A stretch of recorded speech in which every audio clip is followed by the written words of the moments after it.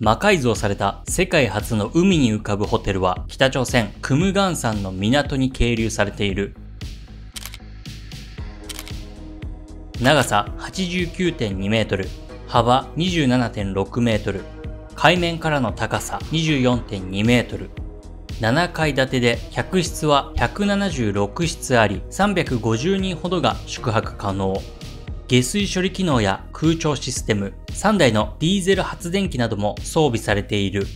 その他にもクラブ、バーが2軒、図書室、研究室、ジム、サウナ、シーフード専門のレストランが2軒などを持ち合わせているリゾートホテルだ。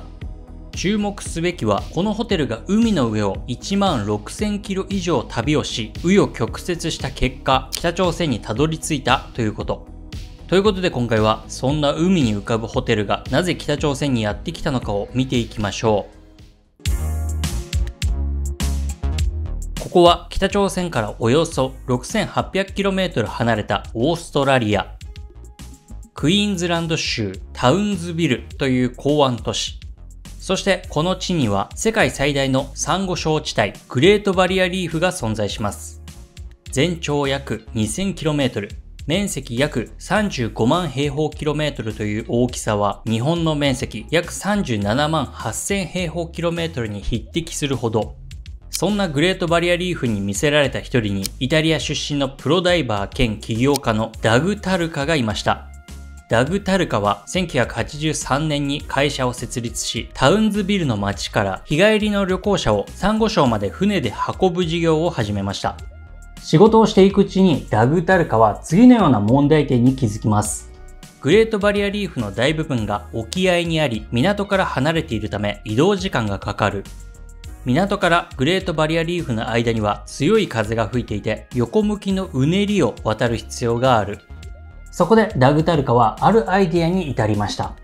グレートバリアリーフ現地に宿泊施設を提供すれば、より快適な旅行になるに違いない。そうすればお客さんをもっと増やすことができる。ただこのアイデアを実現するためには、サンゴ礁を守ることを第一にした上で、グレートバリアリーフの管理と保全を行ういくつかの団体を説得する必要がありました。そこでダグ・タルカが目をつけたのが、海に行く宿泊施設。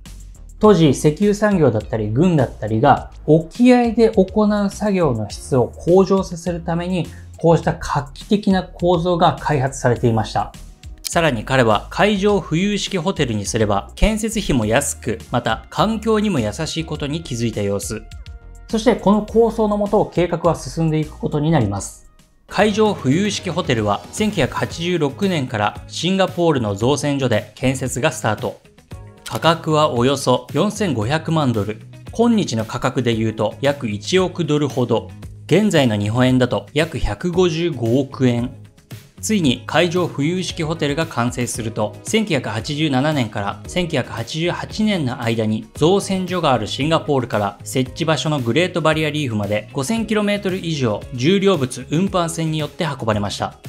そしてグレートバリアリーフ内にあるジョン・ブリュワーリーフという位置に置かれ7つの巨大な怒りによって固定されました。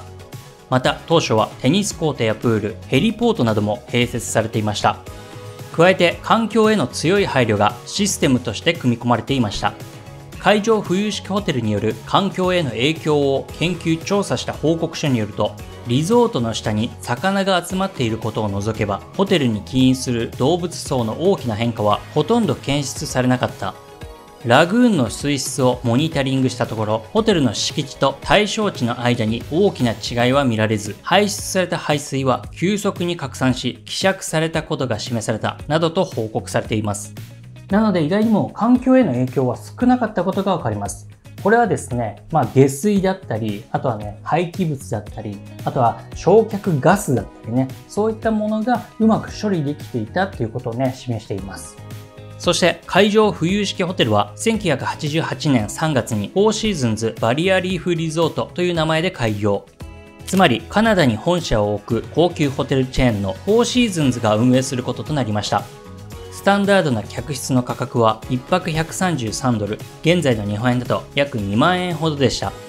ただこの海上浮遊式ホテルは1988年3月の開業からわずか1年で営業に追い込まれることになります。このね、大きな理由は4つほどあります。まず1つ目が開業前の損失です。ホテル開業の1週間前、チャーリーというサイクロンが施設を襲いました。メインの施設への被害は少なかったですが、プールやテニスコートが破損。これによって開業が遅れたことで数百万ドルの損失が発生してしまいました。2つ目は悪天候による影響。港からホテルまでは高速船で2時間ほど、またはヘリコプターに乗る必要がありましたが、天候が悪いとホテルへ行けず、またホテルから港へ戻ることが不可能となり、ホテル滞在者に関しては閉じ込められてしまいます。さらには、ホテルは海に浮いているので、その揺れは収まることはありません。悪天候時、多くの宿泊客はホテルに閉じ込められ、船酔いに悩まされました。3つ目は、不発弾の発見。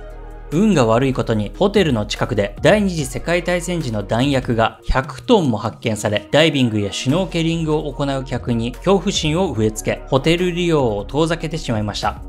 4つ目が大本命ですね。莫大な運用コストです。そもそもの運用コストがめちゃくちゃ高かった上にですね、まあ悪天候だったりそういったもので、あの、頻繁にね、快適性がね、低下していった。そしてそれに加えてですね、安全、信頼の喪失が重なって、まあ徐々にね、お客さんが減っていったってことです。ついには満席での稼働を経験することなく、4シーズンズバリアリーフリゾートは幕を閉じました。会場浮遊式ホテルの最も大きなメリットとしてはですね、その場所で失敗したら別の場所に移動して再スタートが可能なことでした。この海上浮遊式ホテルは日本の企業である EIE に買収されることになりました。正式名称 EIE インターナショナルという日本企業はバブル期を代表する不動産会社の一つです。結局バブル崩壊とともに倒産しちゃったんですが、当時はですね、リゾート開発などに手を出していて、総資産1兆円にも上る企業グループまで上り詰めていました。ベトナムホーチミンに拠点を置くデジタルニュースメディアサイゴニアによると、ベトナム初の外資系ホテルは日本の EIC デベロップメントが運営し、オーストラリアのサザンパシフィックホテルズが経営としています。つまり海上浮遊式ホテルはベトナムのホーチミンに移動され、再度開業することになりました。ただこの辺りの流れは諸説あって、正確なところはね、ちょっと不明です。ホテルがですね、日本の企業の EIE に一度渡ってから、その後さらにベトナムのホーチミンの企業に売却されたっていうね、情報もあります。なぜベトナムなのかというと、当時ベトナムは戦後の観光ブームへ突入していたため、観光需要が高まった結果、質の高いホテルが不足していた様子です。そこで手っ取り早く需要を満たすために白羽の矢が立ったのが海上浮遊式ホテルでした。海上浮遊式ホテルはグレートバリアリーフを出発し 5000km 以上の旅路を経てベトナムのホーチミンに移動されました。名前はサイゴンフローティングホテルとされ、1989年から1997年までの8年ほどサイゴン川チャンフンダオ像のすぐ近くで営業されることとなりました。ただここでも資金繰りが悪化し、1998年には閉業しました。しかし、まだこの海上浮遊式ホテルの旅は終わりませんでした。次に買い手となったのが韓国の企業、ヒュンダイアサン。ヒュンダイアサンとは韓国の財閥ヒュンダイグループに属する対北朝鮮を専門とした事業を行うために立ち上げられた企業。ちょうど海上浮遊式ホテルがベトナムで閉業された1998年の時期に各国はキム・デジュン大統領によって北朝鮮との融和政策、つまり緊張を緩和しようとしていました。これに乗じて、かつてから北朝鮮での事業に関心を持っていたヒュンダイグループが動き、北朝鮮のクムガン山で観光事業を行う契約を締結。しかし、北朝鮮から観光事業の権利を取得できたとはいえ、まだまだ不安定な状況だったことから、ゼロから開発を行うよりも、まずは海上浮遊式ホテルを購入し、設置することで安価かついい足掛けになるだろうと考えた様子。ヒュンダイアサンは海上浮遊式ホテルを127億ウォン、現在の価値で1800万ドル以上、日本円だと約28億円で購入しました。そして一度シンガポールに渡り改修工事を行った後、約 5000km の航海をし、北朝鮮クムガン山のチャンジョン港まで運ばれました。海上浮遊式ホテルは再度テクムガンホテルという新しい名前が付けられ、2000年10月にオープンしました。当時はなんと200万人以上の韓国人観光客がこの地に訪れていました。ただですね、南北の緊張緩和っていうのはですね、長くは続きませんでした。2008年に北朝鮮の兵士がクムガン山の立ち入り禁止区域に迷い込んだ韓国人観光客を射殺するという事件が発生。